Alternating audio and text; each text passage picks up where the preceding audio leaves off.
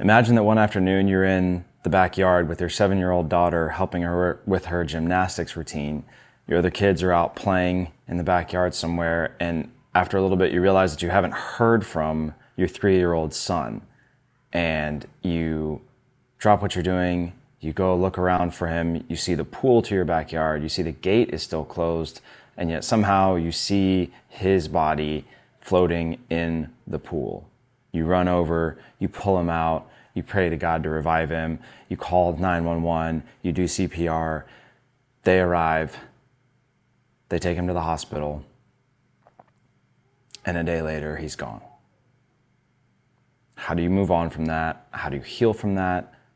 What does that look like? That's the story of Granger Smith and this new book, Like a River. It's the story of his healing from the loss of his three year old son, River. And this book is wonderful, you guys.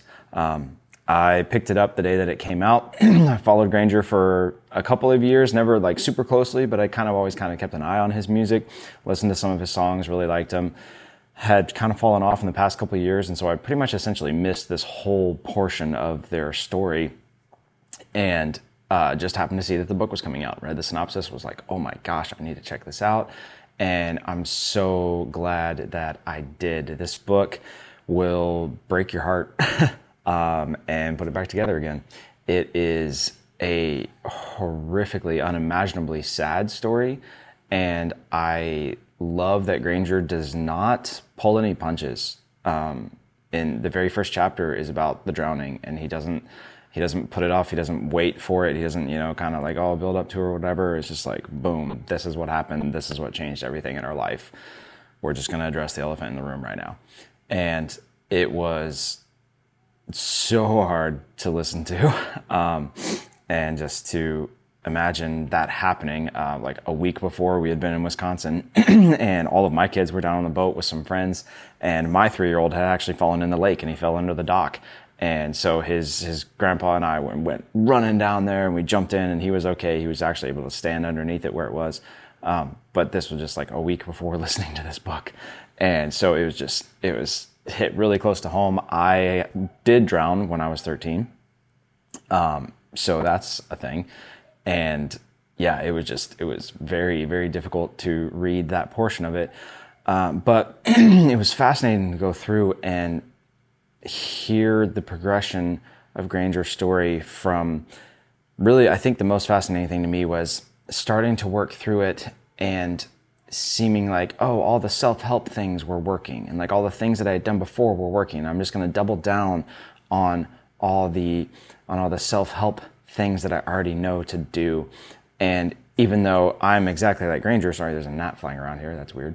Um, but even though I'm exactly like Granger, very much into the self help thing and into the creating good morning routines and doing all these things and whatever, um, just the realization that at a certain point, there's things that happen that the answer is not ever going to be found inside of you. It's not going to be found in working harder. It's not going to be found in optimizing stuff better and whatever, whatever. There's, there's literally stuff that the only answer in all of it is Jesus. And the, to see the progression of Granger go from trying to find the answer all outside of all this stuff to getting to this place in the chapter that he called Dark Night of the Soul, where he almost commits suicide, um, is really, really eye opening and heartbreaking and just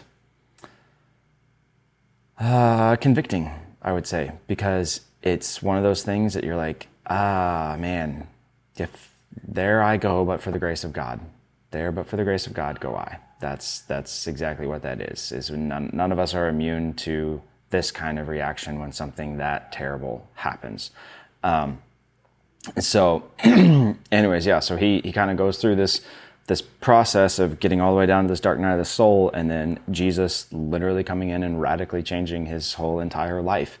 And the the the best worst part of the story for me with that was as soon as this starts to happen it's like oh god's changing all this stuff in our life and all this stuff is amazing. And now we're about to have another kid then tragedy strikes again.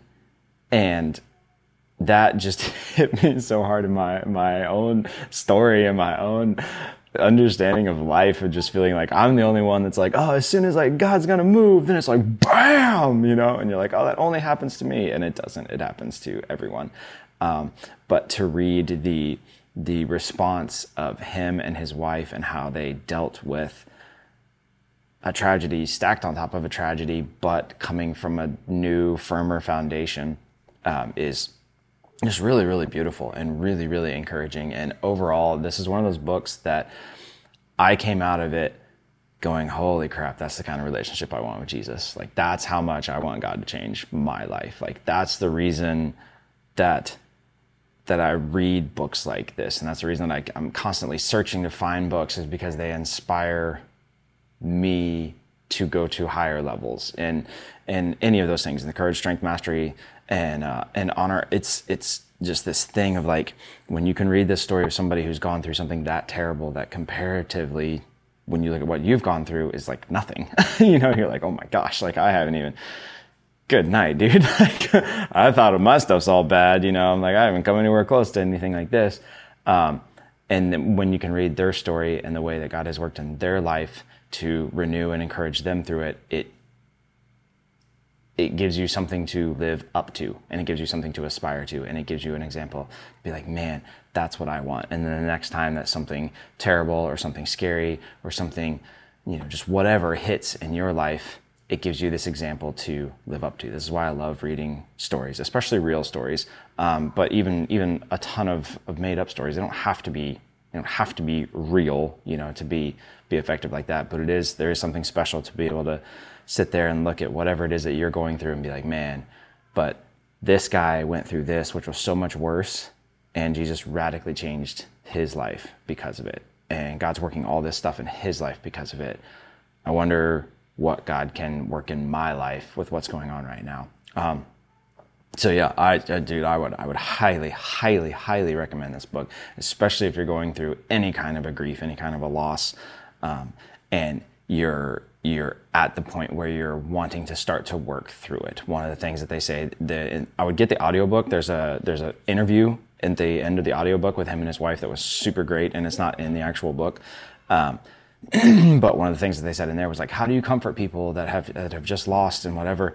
And they were one of the things that they said was like, if it's the day of, you don't. Like if it's too soon, you don't. So if it's too soon, you know that it's too soon, and that's not the point that you need a, a book like this. But if if something has happened and you're dealing with anything where this is there is grief, there is loss, there is heartache, there is pain, there's something that you're trying to move through and you're trying to find a way through it, I would highly, highly recommend this book. It was absolutely, absolutely wonderful. A couple of my favorite quotes from it that I just want to throw out there in this video um, was he said, Pain is not permanent and pain is not pointless, which I absolutely loved.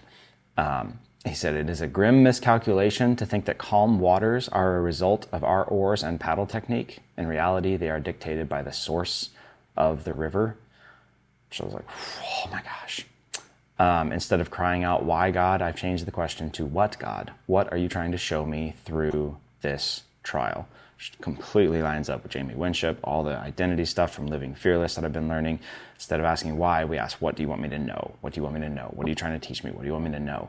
And we go from not being able to hear anything, not being able to discern anything about what God's trying to say, to very clearly hearing an answer like that just as soon as we change the question, because we're asking the wrong question. We're asking why.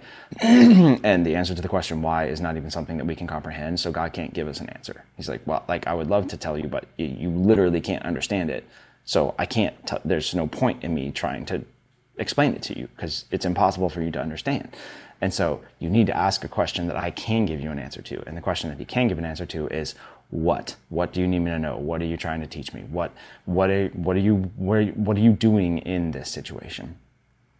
Um, and there's purpose on the other side of surrender was another one of my favorite quotes. And then just big one at the end, uh, kind of kind of just this little snippet in one sentence that he said, but he said, other than the things that I know I'm supposed to do right now, essentially, he said, my future is none of my business. And oh man, with some stuff that's happening in my life right now, I was like, holy cow, like that is, whew, that is a thing.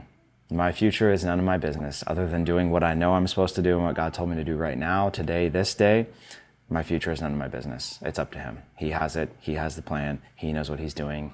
And if I f- submit and follow His lead, it will work out. And it's none of my business how it's supposed to work out or what it's going to do.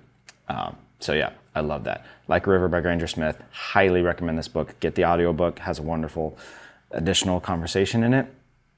And um, yeah, it's a book that's well worth well worth sharing and spreading around. So uh, if you guys read it, let me know. Leave me a comment. And yeah, like, subscribe, all the things. You know what to do.